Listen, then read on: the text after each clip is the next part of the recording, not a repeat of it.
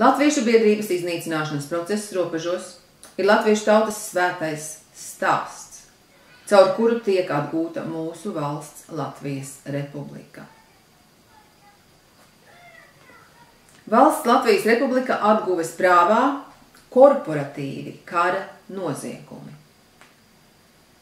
Latviešu pasaules slavenais ekonomists Kārlis Balodis jau simts gadi atpakaļ darīja zināmu, ka valstī cilvēkam nav jāstrādā vairāk kā pāris gadus simtsgadīgā mūžā. Valstī tautsaimnieciski sadalot pieejamos resursus valsts pilsoņiem un veidojot uzkrājumus sliktiem laikiem. Pie mūsdienu komunikāciju un industrializācijas hiperattīstības pakāpes ir pilnīgi skaidrs, ka cilvēka darba mēnešu skaitam nebūtu jāpārsniec vairāk kā seši mēneši. Simts gadu mūža laikā. Lai nodrošinātu tautai visu bazāli nepieciešamo. Bet valsts joprojām netiek izveidota un tautsaimnieciskā domāšana ir aizliegta konceptuāli jo zemeslode ir padarīta par sistēmisku nāves nometni, kur nepārtraukti jāstrādā, īstenojot pašnāvniecisko agenda 21 depopulācijas plānu, caur kuru var jaust, ka industrializācija cilvēcei tika dota tik, lai ievestu visus digitalizācijas nāves slazdā. Bizness kā koncepts praksē pieļauj jebkādas juridiskās, administratīvās un finansu mahinācijas privātai peļņai, pat privātu korporāciju un sindikātu pasaules pārvaldes firmām, kas veic valsts Latvijas republika likvidāciju un tās iedzīvotāju genocīdu. Latvijas pamatiedzīvotāji un valsts Latvijas republika pilsoņi nepiekrīt šādām pretvalstiskām ar karu salīdzināmām masu iznīcināšanas darbībām un valsts līdzekļu izzakšanai un nodošanai ārzemniekiem, kas saucams lietu īstajos vārdos - korporatīvi kara noziegumi. Šajā situācijā esam, jo izveidotajā firmu sindikāta iekārtā, kas vairs nav valsts, trūkst iedzīvotāju pašu pārvaldīta valsts kontrols mehānismu. Šī genocidālā kļūda tiek novērsta īstenojot pamatiedzīvotāju tiesības uz pašu tiesvedību un pašu pārvaldītu naudu. Te vēl ir jāpiebilst, kad Latviešu biedrība jau pagājuši gadu oficiāli iesniedz tiesas lēmumu valsts, valsts darbību imitējošām struktūrām, kur bija Latviešu goda tiesa lēmusi, kad Latviešu biedrība ir valsts kontroles struktūra. Neskatoties uz to, Latviešu biedrības sēta tika likvidēta un Latviešu biedrība tika izputināta, lai gan tā ir valsts kontrolas struktūra.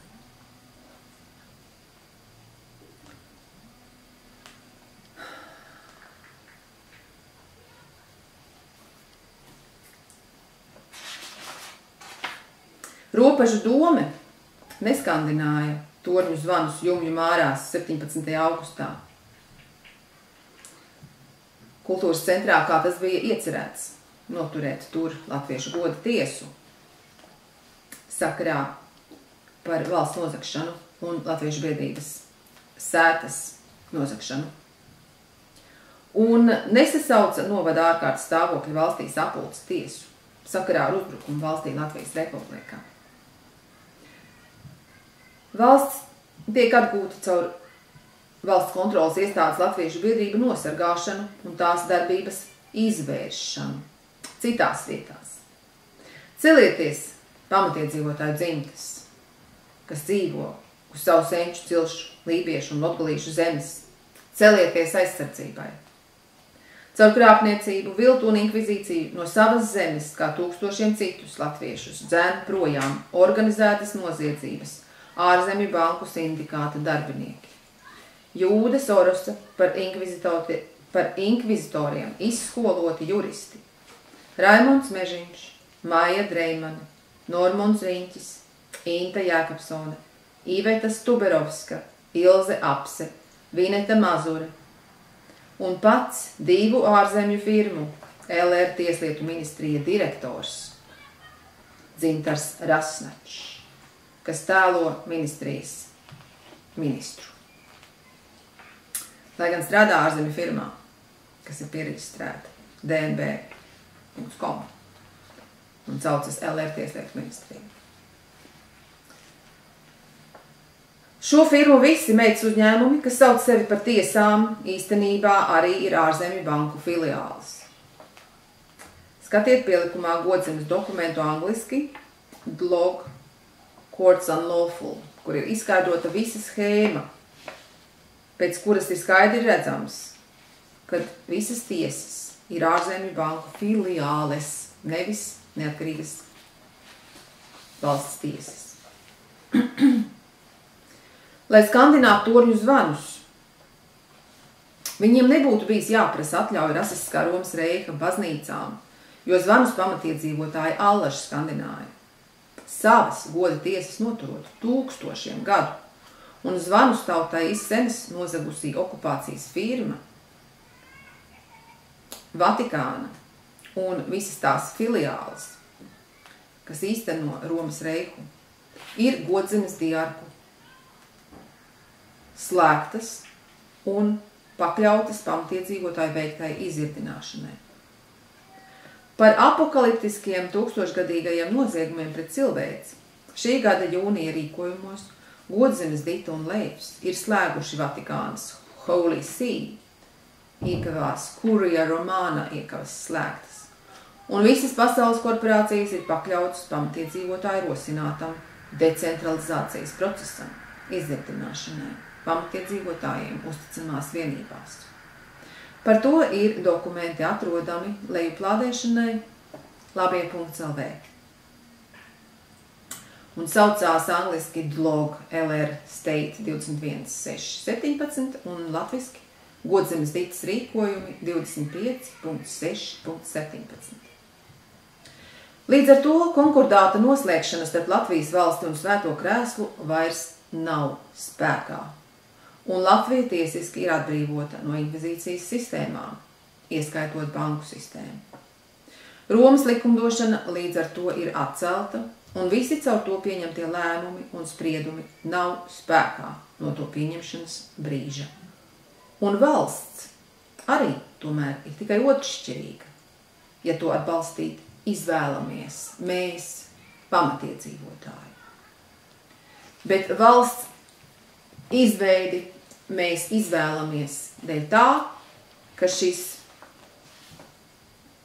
šī nāvējošā atomkara sistēma, kas sauc sevi par valsti šobrīd, bet ir ārzemju korporāciju sindikāts, ir tik nāvējoši digitalizēta, ka ja mēs viņu neizdirdinām, mēs nevaram atbrīvot dzīvības sistēmas. Tāpēc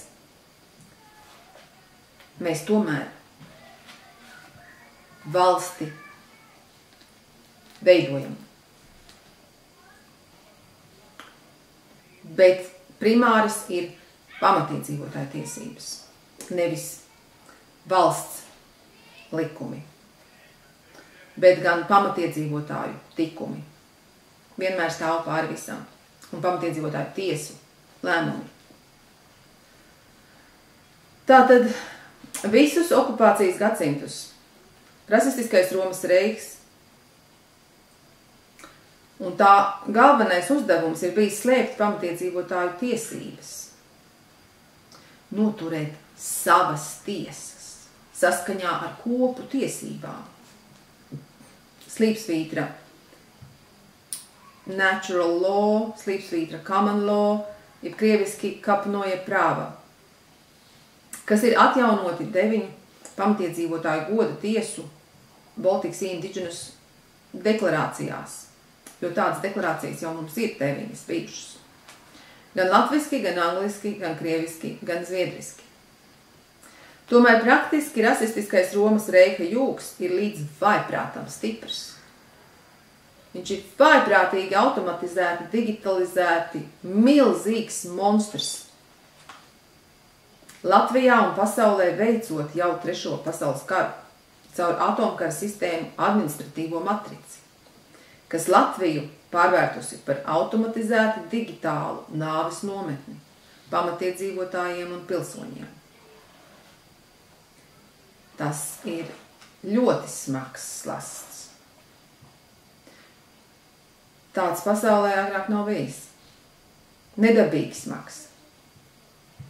To var tikai zinātniski, visaptveroši atkodēt.